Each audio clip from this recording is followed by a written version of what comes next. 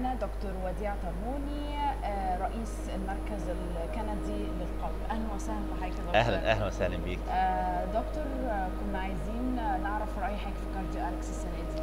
بصراحة أنا دايما أفاجئ بال Cardio Alex. آه، كل سنة تتحسن أكتر. ما أعرفش أنتم هتعملوا إيه السنة الجاية.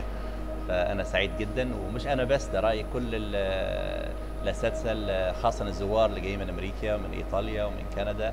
كلهم بصراحة منبهرين وسعيدين جدا وأنا أهنئكم بال ال- اللي عملتوه ده حاجة يعني مشرفة جدا. ميرسي كنا عايزين نسأل حضرتك آه تكلمنا أكتر بمعنى أصح عن الجلطة الدماغية وإيه نعم. أعراضها إيه أسبابها. نعم.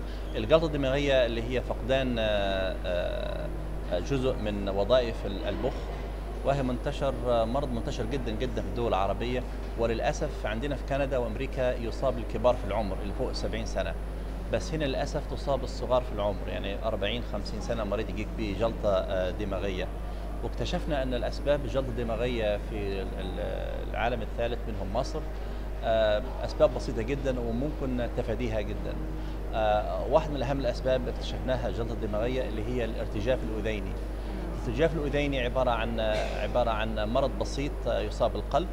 آه، دبدبة في كهربية القلب تؤدي إلى تؤدي إلى إلى اختلاف نبضات القلب وهذا يؤدي إلى تكون جلطة داخل القلب وتنتشر من القلب إلى ال- إلى المخ وتعمل آه، جلطة. لو كان اكتشفنا ال- ال- الارتجاف الأذيني مبكرا ممكن نعطي للمريض دواء بسيط جدا نحموه من الجلطة الدماغية. السبب الرئيسي الثاني اللي هو ضغط الدم.